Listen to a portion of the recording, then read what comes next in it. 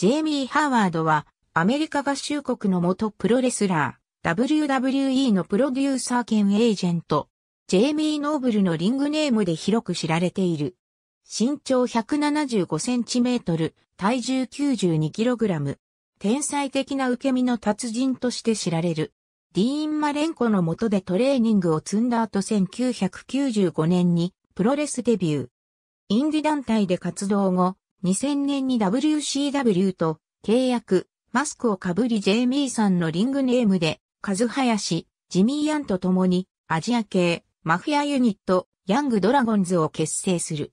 なお、こうした民族ギミックにありがちなことだが、ジェイミーは他の二人とは全く異なりアジア系ではないため、覆面レスラーとなって素顔を隠し活動した。スリーカウントとの構想で人気を博す。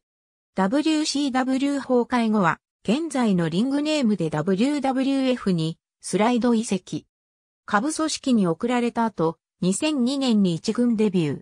もともと実力を認められていたため、初登場からクルーザー級戦線のトップヒールとして迎えられる。ニディアと共に活動し、主に田尻、ビリー・キッドマンらと抗争。在位期間4ヶ月という当時のクルーザー級王座最長防衛記録も樹立ししている。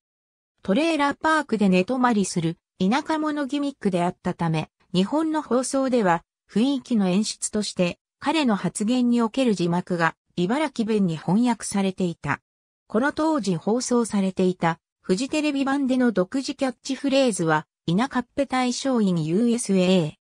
派手な空中戦が得意な選手が多い、クルーザー級戦線において、誰とでも名勝負を演じられる器用さと、マレンコ道場出身者らしいシリアスで堅実なレスリング技術を披露し異彩を放っていたが2004年9月15日に WWE から解雇された。WWE 解雇後は新日本プロレス野郎へ、ジェームス・ギブソンのリングネームで参戦した。軽量級選手が多い ROH では、トップ戦線に食い込み、2005年8月12日には、 ROH、ヘビー級王座にも輝いている。メジャー団体と比較して、インディー団体では、実力あるものしか評価されない傾向が強いが、ノーブルは、毎晩のように、名勝負を演じ、ファンから大きな支持を受けた。2005年12月17日、WWE に復帰。キッドキャッシュとピットブルズなる古典的な強権タッグチームを結成したが、ほどなく、キャッシュが、素行不良のため解雇されたため再びシングル戦線に戻る。その後はストーリーにあまり絡まず、出番が少なかったが、2007年は、ホーンスワグルとクルーザー王座をめぐり、構想を展開した。2007年からは、クルーザー級部門のプロデューサー兼エージェントも任され、同年後期には、チャック・パルンボとミシェル・マクールを争っての三角関係のストーリーを発展。2008年、ロイヤル・ランブルでは、自身の登場した次のレスラーであるパルンボによって脱落されている。その後ミシェルがノーブル寄りになり、そのためかパルンボがヒール化したため、ノーブルは久しぶりにベビーに転向した。その後は TV 放送に出る際はランバージャック要員やジョバーとしての出演が多くなる。2009年11月2日、RAW でシェーマスに試合で一方的に攻撃されレフリーストップ、試合後も執拗に暴行を受ける。そのことが原因として引退を発表した。実際の原因は長いレスラー生活の中での慢性的な首と腰の痛みによるものであった。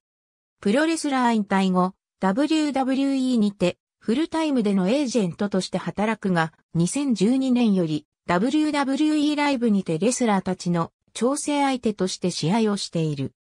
2014年8月、ミスターマネー・イン・ザ・バンクであるセス・ロリンズのボディーガードとなり、ジョーイ・マーキュリーと共に J&J セキュリティとしてオーソリティの一員として乱闘に加勢するなど活動。11月24日にはロリンズマーキュリーと組んで久々にテレビマッチに出場。ジョン・シナドルフ・ジグラーと 3vs2 によるハンディキャップマッチを行うが敗戦した。ありがとうございます。